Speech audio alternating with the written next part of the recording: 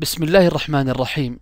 المهارات اللغوية الوحدة الثامنة الأخطاء الشائعة.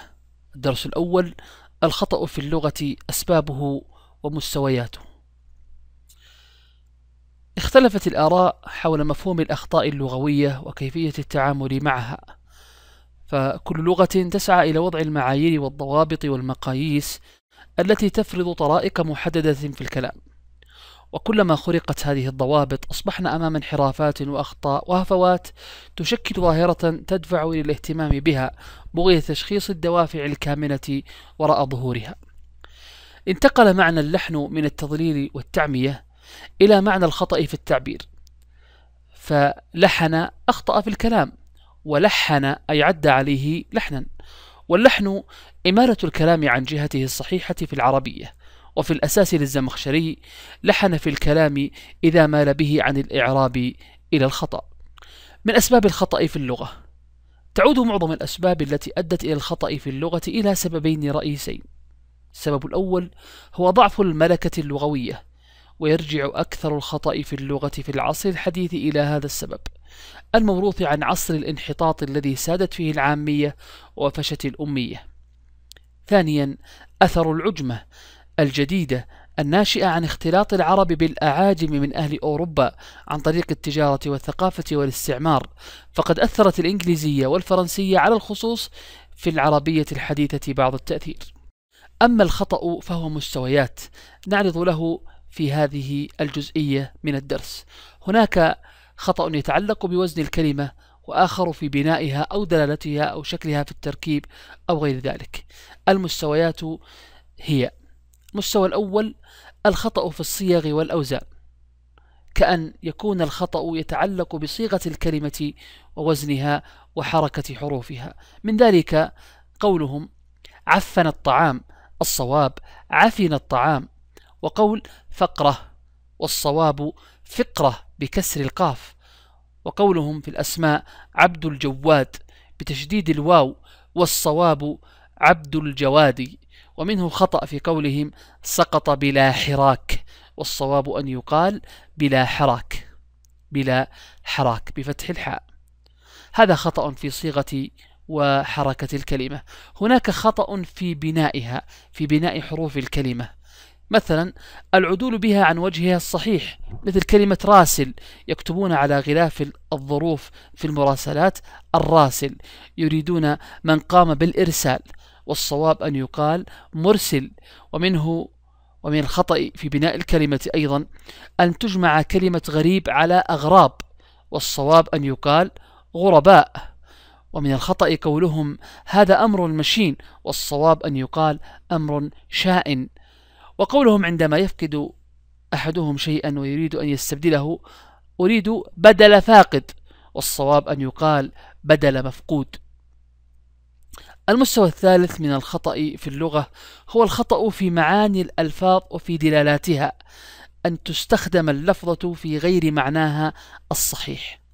مثلا أن تنقل إلى معنى آخر نقلا لا تجوزه أساليب اللغة وقواعد البلاغة مثل قولهم تنفس الصعداء ومعناه الصحيح تنفس يتنفس الإنسان في الصعود أي لقي شدة وعسرا والصعداء مصدر بمعنى الصعود. وعامة الناس يستعملونها بعكس هذا المعنى يريدون به الراحة واليسر وهذا خلاف المقصود. ومن الخطأ قولهم استلم فلان الجائزة يريدون أخذها وتناولها. ومعنى استلم حقيقة أي لمس بالتقبيل أو باليد أو بالمسح بالكف وليس هذا هو المراد. ومن الخطأ استعمالهم كلمة نصب بمعنى خدع أو احتال. ولم يرد هذا المعنى في فصيح العربية إنما ورد النصب والنصب والنصب النصب والنصب والنصب بمعنى البلاء والشر. ومنه قولهم أو من أخطائهم قولهم نوه الناقد بأخطاء الأديب والصواب ذكرها أو أخذها عليه لأن نوه بمعنى مدح وأشاد وهذا هو خلاف المراد. المستوى الرابع من مستويات الخطأ واللحن الخطأ في التعبير والتراكيب. ومن هذا الباب الخطأ في التعدية وفي استعمال بعض الحروف والأدوات النحوية في غير موضعها مثل شكوت من الهم وهو خطأ والصواب أن يقال شكوت الهم لأن شكا لا يحتاج إلى حرف جر يتعدى به فهو يتعدى بنفسه. ومنه قولهم اشتقت لك والصواب أن يقال اشتقت إليك. ومن فساد التركيب أن تقول فعلت نفس الشيء والصواب أن يقال فعلت الشيء نفسه. ومن الخطأ قولهم اتخذته كصديق لي والصيغة العربية لهذا الكلام أن يقال اتخذته صديقا. فالكاف في العربية للتشبيه ولا معنى لها هنا.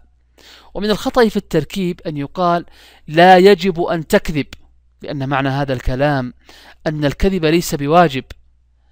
وإنما لابد أن يقال يجب ألا تكذب أي أن عدم الكذب واجب وفرق بين التعبيرين. المستوى الخامس الخطأ في الكتابة والتحرير. وقد أظهرت وسائل التواصل الحديثة عددا من الأخطاء في الكتابة التي عمت بها البلوى منها كتابة إن شاء الله متصلة على هذا النحو وكتابة لكن على هذا النحو بلام ثم ألف أو كتابة التنوين والتنوين هو نون ساكنة تلحق آخر الكلمة في النطق لا في اللفظ. المشكلة أنها تظهر أحيانا في الكتابة وهذا من الأخطاء الكبيرة. كأن يكتب بعضهم كلمة شكرا على هذا النحو يختمها بالنون. هذا فضلا عن الأخطاء في, الكتاب في كتابة الهمزة بأنواعها والتاء المفتوحة والمربوطة والهاء والخلط في ذلك. أيضا الخلط بين كتابة الضاء والضاد والألف الممدودة والمقصورة. هذه نماذج وأمثلة مما يخطئ به بعض أو يخطئ فيه بعض الناس. عرضناها لنستطيع إدراك ما نحن فيه من ضعف أو عجمة فنتحرر منها ونرجع إلى الملكة فنتحرر منها ونرجع إلى الملكة العربية لنقويها في أنفسنا ونروض عليها ألسنتنا وننهل من ينابيع العربية الصافية وأساليبها الفصيحة. انتهى هذا الدرس. السلام عليكم ورحمة الله وبركاته.